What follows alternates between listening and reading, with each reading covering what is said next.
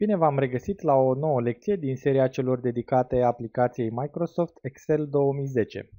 În această lecție vom vedea cum putem crea un nou registru de calcul. Pentru aceasta voi întrerupe prezentarea și voi deschide aplicația Microsoft Excel 2010 și de când am deschis aplicația, Excel creează pentru noi un registru de calcul nou gol pregătit pentru a introduce informații.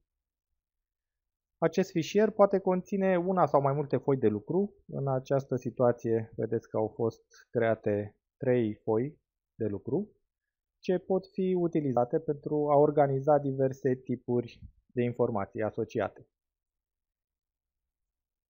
Dacă închidem acest registru de lucru, putem să creăm unul nou din uh, meniul File, opțiunea New.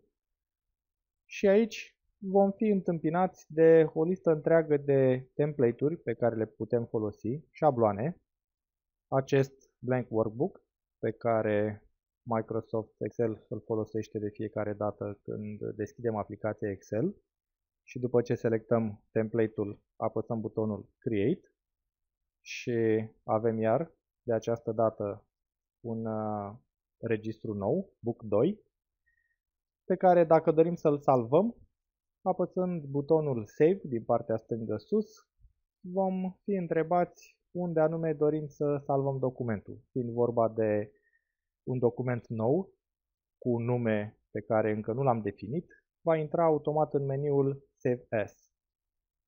După ce selectăm locația pentru salvarea acestui document, apăsăm butonul Save.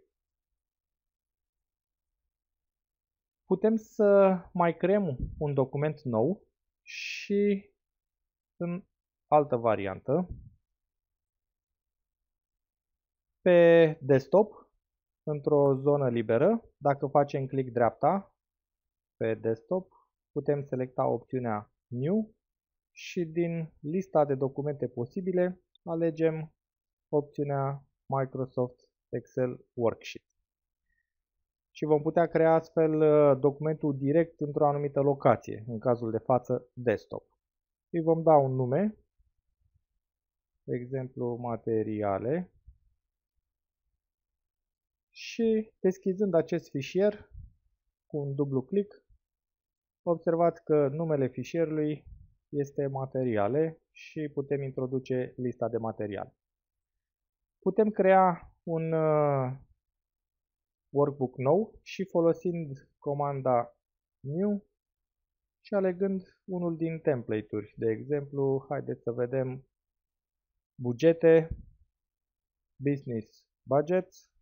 Aceste template-uri sunt oferite de către Microsoft pe site-ul Office și să luăm de exemplu din multitudinea de proiecte un buget pentru evenimente. Observați că aveți în partea dreaptă o miniatură în care aveți un preview al uh, template-ului respectiv și de această dată mai întâi selectăm butonul Download pentru a fi descărcat pe site-ul Microsoft care apoi va fi deschis în Excel și avem predefinite foile în care doar va trebui să introducem informațiile noastre. Rețineți deci, pentru crearea unui nou registru de calcul, selectați un șablon gol, blank workbook, sau unul dintre șabloanele predefinite, sau puteți Uh, cu un click dreapta de mouse într-o zonă liberă de pe desktop sau folosind Windows Explorer. Selectați opțiunea New și apoi Microsoft Excel Worksheet. Vă mulțumesc pentru vizionare și vă invit să urmăriți și celelalte lecții din această serie.